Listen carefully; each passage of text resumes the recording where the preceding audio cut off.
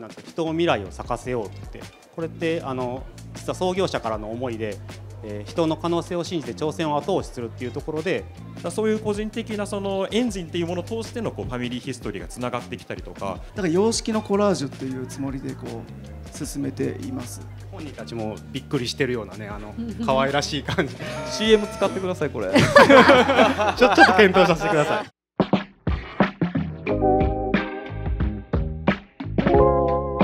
早速ゲストをお呼びしましょう、はい。今回のゲストは、えーヤンマーホールディングス株式会社デザイン部からグラフィックデザイナーの印田千尋さんです。どうぞよお越しください。どうぞよろしくお願いしまお願いします。おかけください。お。かけください。ではご紹介お願いします。ご紹介させていただきます。印田千尋さんです。京都教育大学情報造形専攻を卒業後、大阪のデザイン制作会社にて企業のロゴやパッケージ、イラスト等の制作に携わられ、2019年にヤンマーへ入社されました。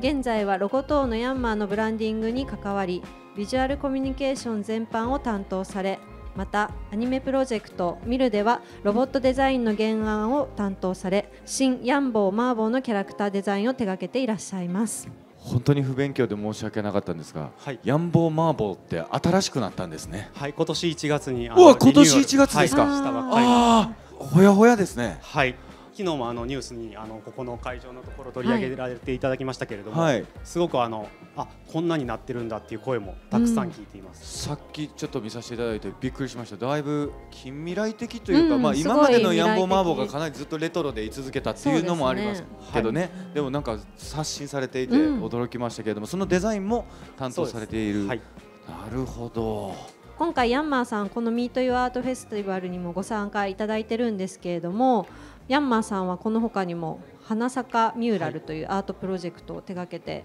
いらっしゃったりするということでまずヤンマーさんとアートの関係について伺えればと思うんですけれども、なかなかそういうイメージがすみません。今までなかったもので、そうですね、そうですね。あのヤンマとしてもアートって今まで全然あの距離のあるものだったんですけれども、まあ、ここ最近あのいろんなプロジェクトを進めていく中でアートの可能性みたいなところも感じておりましてそしてアートの方に力を入れてあの新しい入り口というところであの進めています。ちなみに森山さんなんてあのヤンマーって印象とかこの辺です。あありがとうございはいます、ねヤンマーディーゼルそうなんですねあの、はい。ヤンマーって実は100年続いてる企業でしてその100年の中でヤンマーの認知って本当に世代を超えてバラバラでして例えばヤンヤンマーといえばトラクターと言っていただける方もいますし、えーヤンボーマーボーでしょとヤンボーマーボー知ってるけどトラクターは知らないみたいな方もいますし、今の世代でいうと、まあ、どちらも知らないっていう方もいるんで、まあ、そういうところの認知も含めてあのミューラルであったりっていうところもヤンボーマーボーもそうですけど、うん。あの今いろんなプロジェクトが進んでいます。もともとはあのえ小型のディーゼルエンジンの発明を世界で初めてしまして、え農業の従事者の方を助けるというところであの全国に広まって、まあ、今はそれをディーゼルエンジンが中心となって、まあ、トラクターやマリン研機あとは食のところの方もですねあの人のライフラインに近いところで事業を広げております。であの先ほど説明していただいた花坂ミューラルというところにもつながってくるんですけれども今ヤンマーで大切にしている価値観というものがありましてこの花坂というものなんですねこれ今書いてる通りなんですけど人を未来を咲かせようと言ってこれってあの実は創業者からの思いで、えー人の可能性を信じて挑戦を後押しするっていうところで今あのヤンマーの従業員みんながこの価値観をもとにさまざまなプロジェクトを進めています。次に花坂ミューラルですね。先ほど話題にしていただきました。これあの大阪の長井公園というすごい大きな公園の一角の壁を使って、えーグラフィティアートの人アーティストの人に書いていただいてるんですけれどもこの始めたきっかけっていうのはですね実はあのこれもともとはこの幅16メートルかける高さがよ3.5メートルなんですね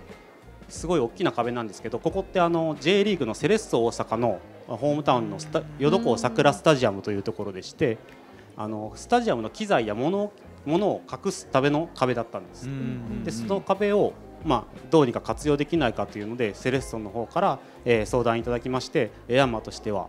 まあ、サッカーだけじゃなくこの公園を使ってアートの文化情勢というところでもう一つワクワクを一つデザインしたいなということであのアートのチャレンジっていうのはヤンマー初めてだったんですけれども新しいワクワクを創出できないかというところで進めていました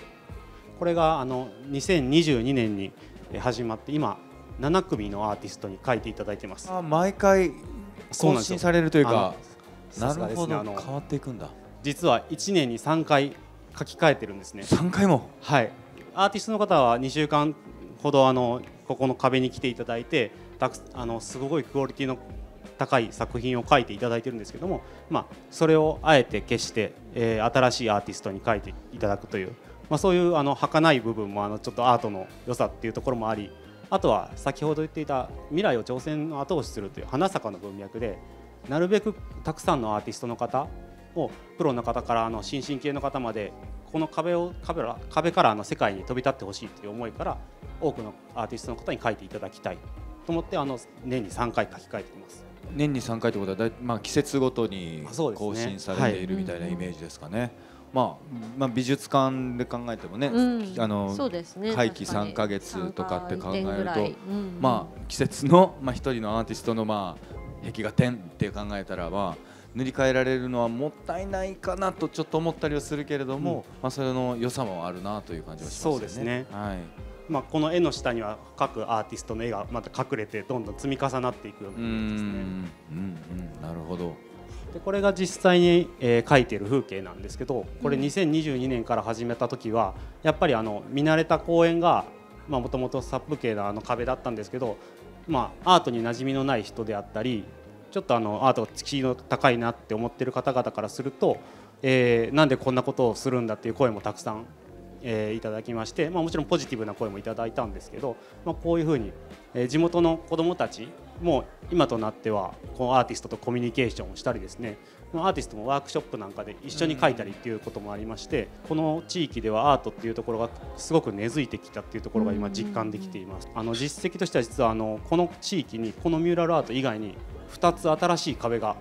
立ったんですね。でそれはヤンマーとしてもすごく驚いていましてうん。こんなにアートってパワーがあるんだというかあの受け入れられてからのこの拡散力といいますかすごいものがあるなと思っていますいいですね、うん2週間ですもんね滞在制作が。そうですね。アーティストによっては異なりますけど大体2週間程度ですね、うんね、街の人もなんか日々あどんどん変わっていくなっていう2週間を年3回も見られるとだいぶ刺激的っていうのはそれは確かにそうですね。壁画が街にもたらす影響っていうのは世界中で言われてるね。ね。はい、あるかなというふうに思いますけれどもではここで今回ヤンマーさんとコラボしたアーティストの皆さんにもご参加いただきたいと思っております半田宗也さん星山幸太郎さん加瀬野祐介さんですご登壇ください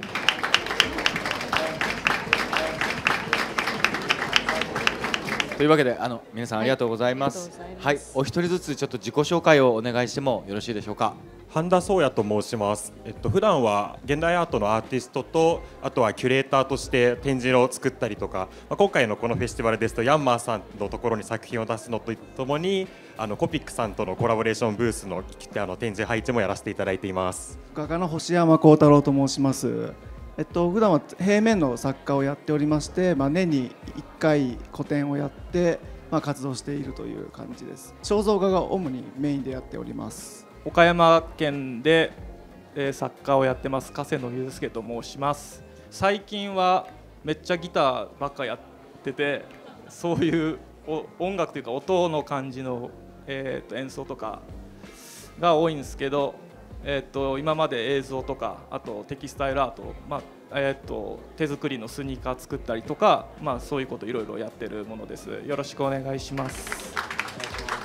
えっと今回はじゃあそのこのコラボした展示についてあの印田さんより解説いただいてもよろしいでしょうか？はい、まずはですねあの先ほどお話しさせていただきました花坂ミューラルというところで初めてあのヤンマーとしてはアートと結びついたんですけれどもその中でアートの力というものをすごく感じまして今回あの ABEX 様の方からこういう企画の展示があるというところでお声掛けをいただきあぜひあのヤンマーとしてはえーまあ、ヤンボーマーボーも新しくなって認知を取るというところも含めあの若い世代であったりアートって本当に自由なものなので新しい表現として、まあ、ヤンボーマボも活用していただきたいというところであの今回参加させていただきましたで12名の方にはですね本当にあの自由に作品を描いていただいてですねこちらあのヤンマーとしても本当に感謝していますというかあの驚きのこういう視点があるんだっていうところであのすごくありがとうございます。ありがとうございますあのアーティストの皆さんからもあのそれぞれの視点でお話を伺いたいんですけれども順番によろしければコメントいただけますか？とまあ、まず今回お話しいただいてすごく嬉しかったっていうのがあって、まあ、僕あの昨日とかあの半田さんってそういう企業のコラボレーションとか受けられるんですね驚きましたって言われたんですけど あのなんか断ってるみたいに思われてたらしいんですけどあの呼ばれてないだけっていうので あすごいこうあ声かけていただいて嬉しいなって思ったのと同時にやっぱり難しさっていうのもあってあのどうやって自分の普段の活動とつなげていくことができるのかとかやっぱり離れすぎているとすごいそこって難しくなっちゃう。で僕の場合結構テクノロジーとかあとはあの昔ポスト技術立国って展示を作ったことがあるんですけどで技術立国って言ってた後の時代の日本がどうなっていくかっていうことをちょっと自分の制作のテーマの中に一つあったので、まあ、こうやってこう日本戦後のあの第二次産業を通して第一次産業を支えてきたっていう会社であったこととか、まあ、個人的には父親が実はエンジン車のエンジンの設計をやっていてそういう個人的なそのエンジンっていうものを通してのこうファミリーヒストリーがつながってきたりとか、そういうところでこう自分のコンテクストを通していけるなっていうのがあってじゃあこれだったらこのお仕事できるなっていうのがありました。ただあの画風があるタイプの作家ではないのでその結構キャラクターを使って自分の画風に落とし込むっていうのはちょっと難しいなどうしようかなっていうので今回あのヤンマーさんにちょっとエンジンのパーツを送っていただけませんかっていうふうに言ってちょっといくつか送っていただいて制作に取り入れました。これ箱ですよね。そうですね、うん木箱木に箱の中に配置されてで稲穂もありますね。うん。でその中にあヤンボーマーボーがいると。これは塗料というか何で固めてるんですか？えっとまあ、内側はあのちょっとインクをうまくこう転写してあげてあのヤンボーマーボーがちょっと浮き出てくるようにっていうのをしていて周辺はあのコンクリートのモルタルで留めてあってまあ、そういうそのちょっとこうテーマとしては現代のある種地層みたいな、まあ、コンクリートでできた都市空間の地層の中からこうエンジンであったりとかいや、まあ、あのそれでよって育まれていく稲穂だったりとかキャラクターだったりとかっていうのがちょっと発掘されるようなイメージで作っています。なるほど。この右側のサインっていうか、まあ、ヤンボーマーボーのなんかシンボルっぽい感じはするんですけど、うんうん。これはな何なんですか？これもあの、まあ、できちゃった系作品みたいな感じなんですけど、できちゃった系？はい、キャラクターをちょっと抽象化して自分の感覚でちょっと抽象化してみたいなと思って、うんうんで最初実はこっちの箱の方の中にもこの抽象化したイメージで入れてたんですけど、うんうん。違うなってなったのであなったんだ。はい、ちょっともっと具体的なイメージがあった方がいいなっていうので変えたんですがその抽象的なイメージはイメージで気に入っちゃった。やぱまたこれちょっと使ってあげたいなってなったのであの大急ぎであのコンクリートの指示台を作って、はいはい。あの最後仕上げてあの予定になかったんですけどできちゃったんですけどこれ一応あるんですけどってやったのを飾らせていただきました。なるほどなるほど。抽象度高いけど分かりますもんわかりますね。可愛いすそれでは次星山さんお願いいたします。まあ、今回企業さんとコラボレーションするっていう意味でもともと広告のグラフィックデザインをやってましたのでその企業さんとものを作るってことには、まあ、違和感というか抵抗はなく入ってきたっていうのがまず一つありましてでそれからまあ自分の作品のまあ方向性のまあ深度を増すという意味でもあのぜひお受けさせていただきたいということで最初の印象はありましたね。で作品の方向性っていうのがその、まあ、衝突と調和みたいなところがメインでありましてあのまあ異質なものとか自分の価値観にないものだとかそういったものをまあイメージとして平地させてでそこにまあ衝突が生まれる。ただ衝突が生まれるがゆえにこう調和にもなっていくっていうようなそういうあのアートを目指して開拓していきたいと思っているのでコラボレーションっていう形はまあ、そういう意味ではすごくまあ都合の良いというあのお話ではあったので企業さんに限らずあのいろんな他のアーティストさんとかのコラボレーションも、まあ、今は積極的にやっていきたいなと思っております。これはその区切られてるそれぞれの,、まあ、あの枠の中であえて違う技法をこう落とし込みながらこう、まあ、分けて書いてってるっていうあの印象があるんですけどそれそれが衝突調和ということともつながってくるってことそうですね。まあ、日本美術なんか特に僕は様式を継承していくっていう傾向が強いかなと思っておりましてまあ、そのある人物の、え、系譜みたいなのもあるんだと思うんですけども、まあ、出来上がった様式っていうのがこう波紋のように落ちてそこにフォロワーがいっぱい真似していったりして、まあ、一つのムーブメントができていくっていうような形をこう繰り返していくっていうようななんかそういう円環的なこう歴史観みたいなのを日本に感じていてでそういう意味では僕はその、まあ、漫画に影響を受けてるんですけどもキャラクターというよりもその小回りとかそういう様式の方に興味が惹かれていてその漫画のコマをまあ、コラージュとして美術的に捉えてそこから展開していきたいなっていうのがありましてだから様式のコラージュというつもりでこう進めています。でそれは自分があの79年生まれで、まあ、ちょうど「ロストジェネレーション」最後ぐらいでもう一気にアナログからデジタルになっていっていろんなメディアが増えていった時のあの構図のようなあの印象っていうものがすごく影響になってると思います。ちなみにこの角度っていうのはヤンマーのロゴを意識されたみたいなところはあそうですね。もう思いっきりそうだなですね。あ今あのもともとグラフィックデザインって聞いてあの、ちょっとピンときたんですけど、やっぱりそういうグラフィティなところも意識されてるっていうことですよね。そうですねはいすごいあの面白いですねいろんなテクスチャーがあるんですけどヤンボーマーボって全然わかるっていうのが面白いなと思いましたありがとうございますありがとうございますそれでは笠野さんお願いします、はい僕最初お話しいただいたのが、えっと、ディレクターの方から、えっと、ヤンボーマーボーのキャラクターを割とこう緩く使っていいのでアニメーション作ってくれませんかっていうご依頼だったんですけど僕がもうアニメーションを14年ぐらい作ってなくてこうやって声かけていただいたのもなんかいいなと思ってもう一回やろうかなみたいな感じで再チャレンジしようみたいな感じでやりました。でキャラクターもこっちが僕結構馴染みあるんですけど以前のヤンボー天気予報とか、ね、もう懐かしい。僕実家が兼業農家だったんでヤンマーの器具とか見てたんで、うん、でこのキャラクターももちろん見てたんで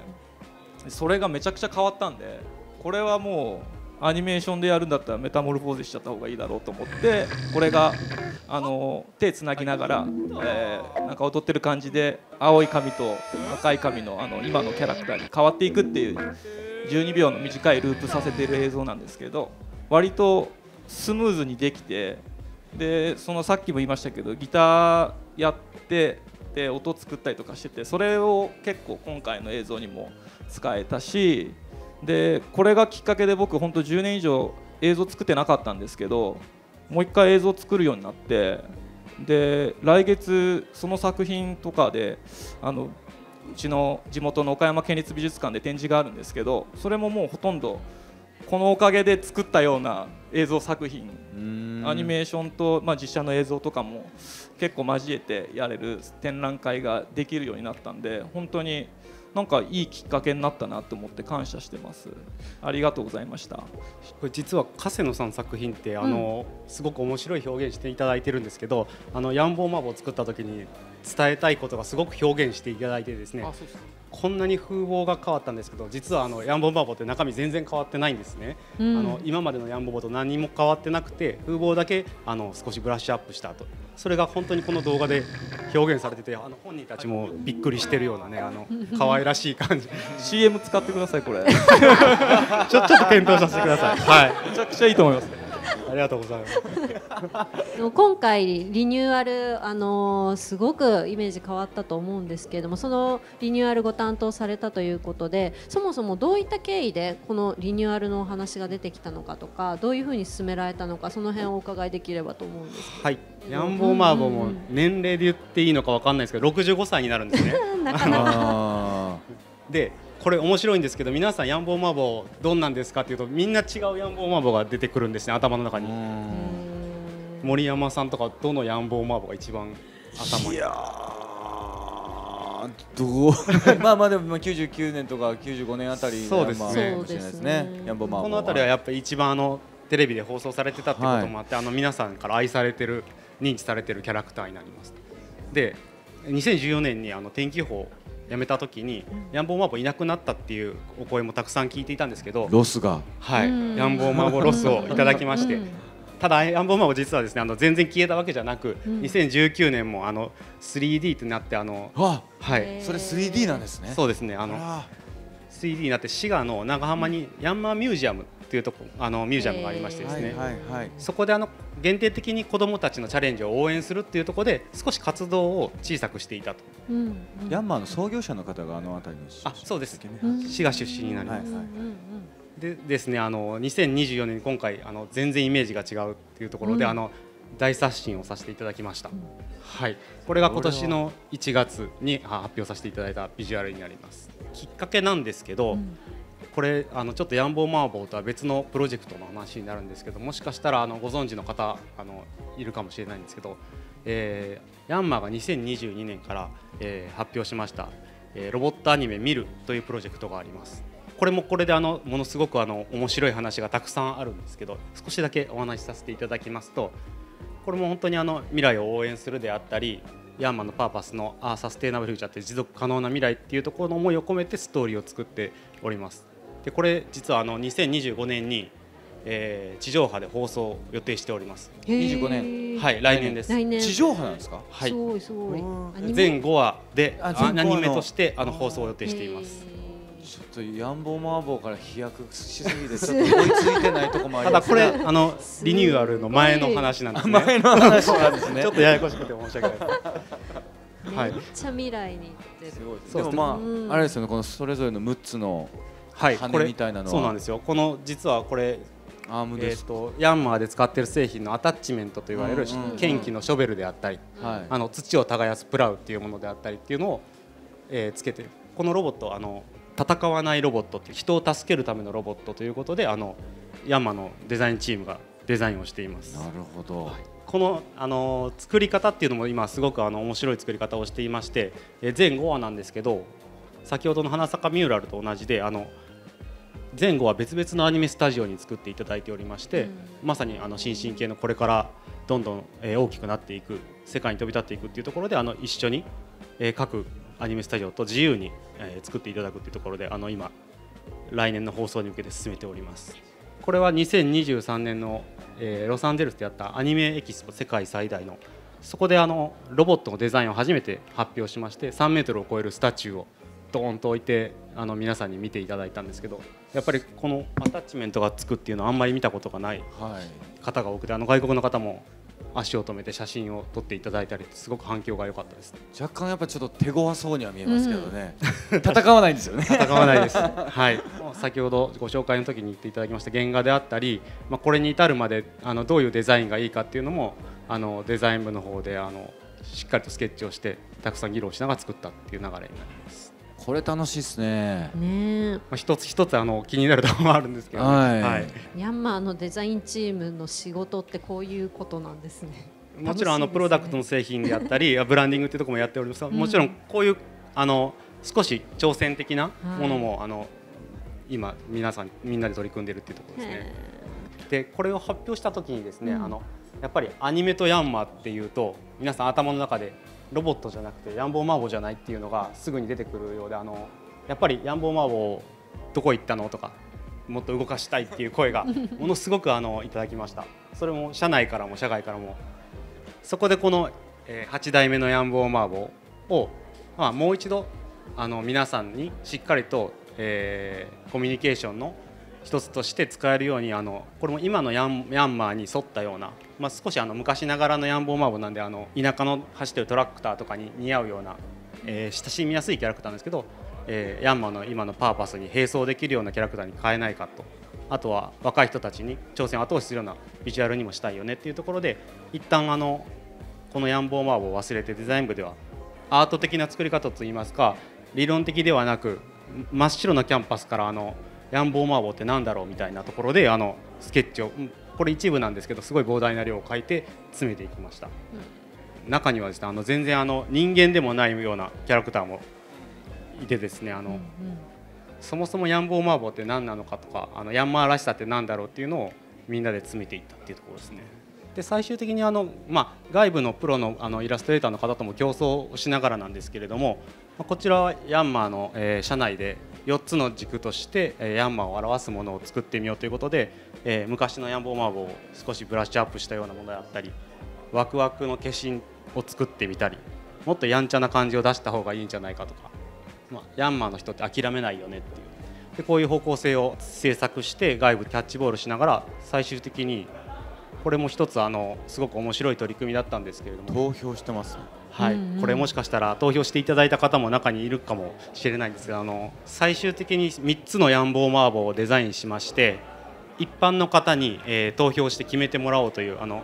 本当に一般の方愛してくださっている人が多いので自分ごと化にさらにしていただいて、まあ、社内の人も含めてですけど投票してこの3つの中から決めましょうということであの巻き込みながら作作りました。でこのデザインも実はあのちゃんと軸がありまして A は二頭身であの昔のヤンボーマーボーの可愛い姿に似ているものであったりあの B は少し身長が伸びてあのスマートな印象ですね。で C はすごい活発にやんちゃに動き回るような、まあ、どれになってもヤンマーとしてはあのそのそれでブランディングを作っていくっていうことで3つ提示してあの B になりました。うん。でこれがあの1月に発表した B で、まあ、コピーとしては心を動かし未来を動かす。これもあのヤンボーマーボーの歌にもかかってるんですけど小さなものから大きなものまで動かす力。その動かす力を今度はワクワクであったりあの未来を作っていくっていうところで、えーこの2人が動いていくっていうところであの発表させていただきました。いやすごいですよね。なんか会社のよくパーパスとかカルチャーとかって創業者の思いとかなんかいろんなものをね中心に据えて刷新していくっていうのはどの企業もやってると思うんですけど中心にあるのがヤンボーヤンボーマンボウだっていうのがすごくこの会社らしいというかそこが資産として何十年と積み上げてきたんだなっていうのがそうですね。ねなんか強みとして素敵だなっていうふうに思います。やっぱり投票の時も7万票を超える票をいただいたので、うん改めてこの数字を見てあの皆さんこんなに思っていただいてるんだなと実感できましたね。ヤンボーマーボー展この後もさらにスケールアップするそうなんですけど何名ぐらいのアーティストが参加されどんな内容になるんでしょうか、あの開催時期とか、はい。あの会場とか詳しく教えていただければありが。とと思いまうございますす。実はですね、えー、11月8日から11月15日まで。これも新しいあの初めての取り組みなんですけれども今までヤンマーのインハウスのデザイン部これ歴史10年ほどしかないんですけど、えー、とその中で作ってきたブランディングであったりプロダクト、まあ、これからそしてあの未来に向けて作っていく景色というところを皆さんに体験してもらおうと思ってあのヤンマーヤンマー東京という東京駅すぐ近くにあのヤンマーのビルがありましてそこの1階と地下1階で、えー開催しております。でこの中でですねあの今回書いていただいた12名のアーティストに加えて6名のアーティストがさらに作品を作っていただきましてあの一緒に展示をしますのでぜひあのご覧ください。はい。皆さん楽しみにしていただければと思います。はい。というわけで今回はありがとうございました。ありがとうございました。はい、印田さん、半田さん、星山さん、加瀬野さんでした。